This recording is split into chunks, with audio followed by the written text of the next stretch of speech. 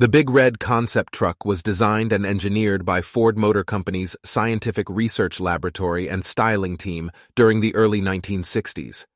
The 96 foot truck project was put together by Roy Lunn. The truck was launched on August 28, 1964, around the same time that the Ford Mustang was also being introduced to the public.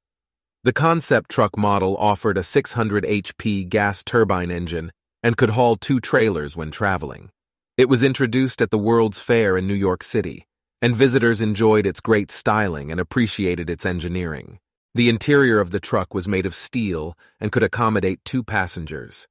Its design was based on wind tunnel data and offered an air ride suspension.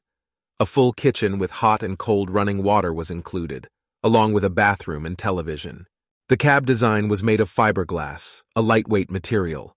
The fiberglass design was independently mounted and featured on the framework body, along with an air conditioning unit for the driver and passengers. The driver or passengers would enter the truck by activating a special switch that would open the door and lower a retractable ladder. The Big Red concept traveled the country during the early 1960s on a promotional tour for Ford. Big Red was also featured in advertising with the new Mustang. In 1964, the Ford's highest ranking executives wanted to manufacture the Big Red concept truck. However, there were three problems.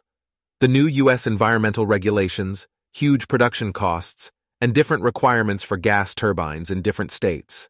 According to many automotive historians, Big Red was called a super hauler, an experimental 600 HP gas turbine truck. Designed for the superhighways of tomorrow, Experimental Truck represented a massive investment and was a research project that Ford engineers thoroughly enjoyed. Ford Executive Vice President Charles H. Patterson said, This truck is a concept vehicle from our product research office. It is a test bed in which advanced engineering ideas are proved out in actual over the road operation. When researching the history of Big Red, I was able to find out some interesting information about what happened to the truck. After touring the country for many years and being featured in Life magazine during the 1960s, the concept model was returned to Ford's Engineering Staff Center until the early 1970s. After being in storage at Ford for several years, the truck was later moved to the Holman Moody's storage hangar, where it remained until 1978. Ford kept the original turbine engine. Many years later, Holman Moody promoted a huge inventory sale, which included Big Red. The truck was sold to an anonymous buyer, and its current location remains unknown.